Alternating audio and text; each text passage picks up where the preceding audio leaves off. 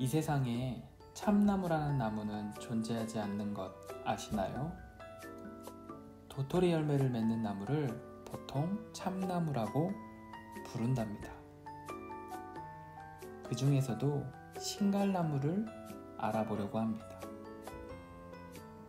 신갈나무의 이름은 신발이 되어준 나무, 신을 갈아준 나무에서 유래된 신갈나무입니다. 신갈나무는 산에서 흔하게 자랍니다. 줄기는 큰 가지가 많이 갈라지고 보통 아파트 8층 정도 높이에 자라나고 있습니다. 신갈나무는 소나무와 함께 산에서 그리고 우리 주변에서 가장 많이 자라는 나무입니다. 가을에 여문 도토리 열매는 흔히 가루를 내어 묵을 쑤어 먹기도 하고 여러 가지의 형태로 음식을 만들어냅니다. 참나무로 만든 숯은 특히 참숯이라고 하며 불이 잘 붙고 오래가서 가장 고급으로 칩니다. 이처럼 신갈나무의 목재는 구워서 숯을 만드는 데 사용하므로 하나도 버릴 것이 없습니다. 옛날 나무꾼들은 집신바닥이 해지면 가장 흔한 이 나뭇잎, 신갈나무 잎을 따서 깔고 신었다고 합니다.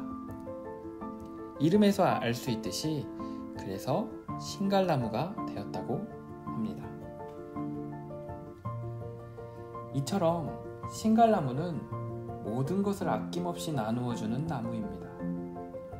수목은 장작으로 쓰여지고 나뭇잎은 이름처럼 신발이 되어주고 열매는 도토리로 만들 수 있는 무한대의 음식이 되어주고 높은 수고로 인하여서 이 세상 어느 곳에서나 잠시 피할 수 있는 그늘이 되어주기도 합니다.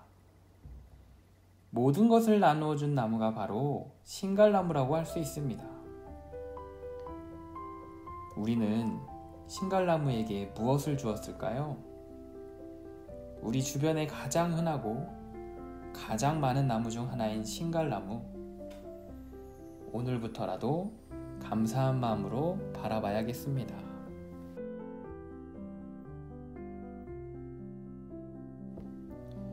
이상 나무 읽어주는 남자였습니다. 감사합니다.